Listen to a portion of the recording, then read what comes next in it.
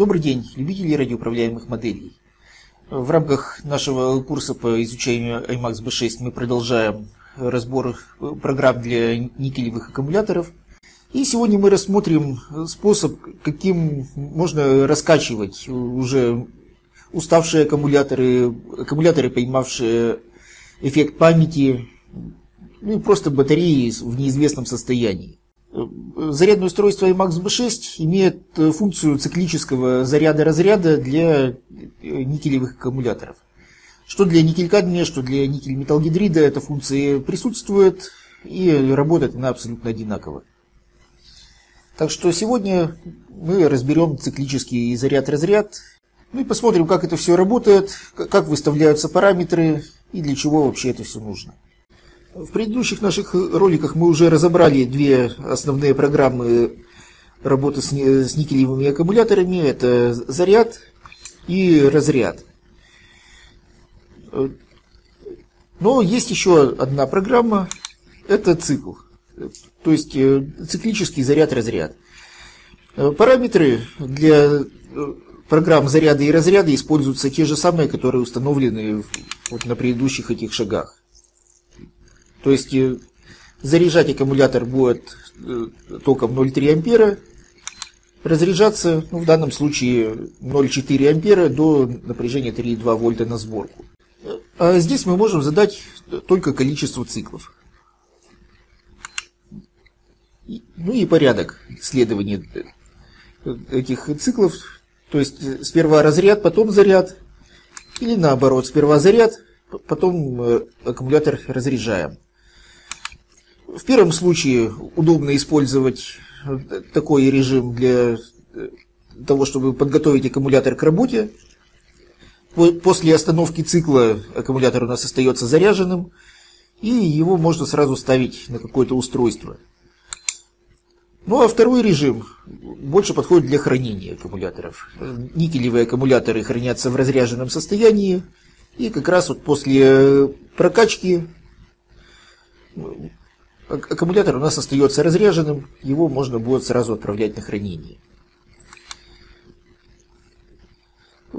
Я сейчас воспользуюсь первым вариантом. Мне нужно, чтобы эти аккумуляторы остались заряженными. И задаем количество циклов. Сколько раз нужно будет разрядить и потом зарядить аккумуляторы. Можно установить от одного цикла. То есть э, Сперва аккумуляторы разряжаются, потом сразу идет заряд. И до 5 циклов. Поставим 3, среднее значение, и запускаем программу. Аккумуляторы сейчас у меня разряжены, они довольно быстро просядут, и пойдет заряд.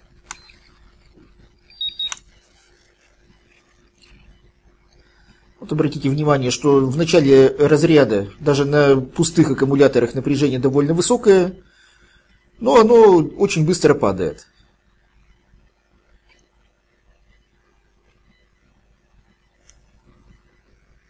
Даже при токе 0,4 ампера разряд идет довольно-таки быстро.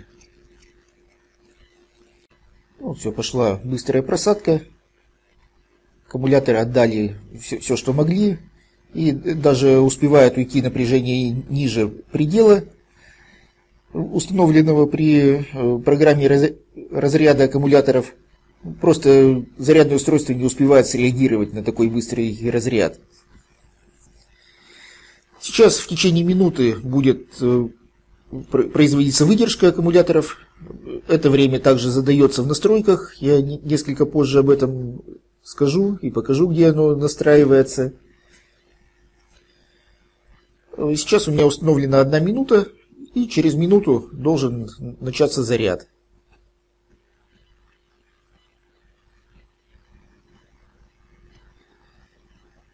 При этом здесь мы видим, сколько аккумулятор отдал на текущем цикле разряда, какую емкость.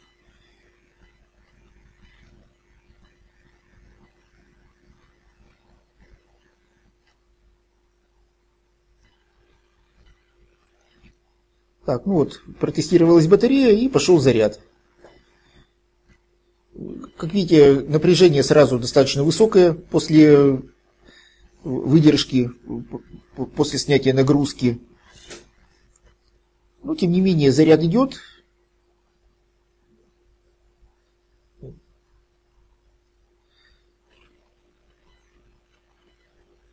В начале заряда устройство делает несколько импульсов.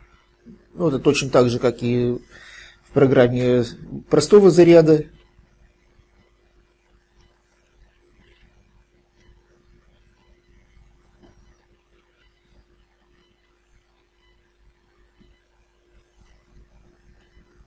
напряжение постепенно повышается, емкость тоже считается. Сейчас дадим пару минут позаряжаться и программу остановим. Просто чтобы не тянуть время. Конечно, работа с никелем, она осложняется тем, что аккумуляторы эти требуют достаточно большого времени для заряда, для разряда, большими токами они не заряжаются.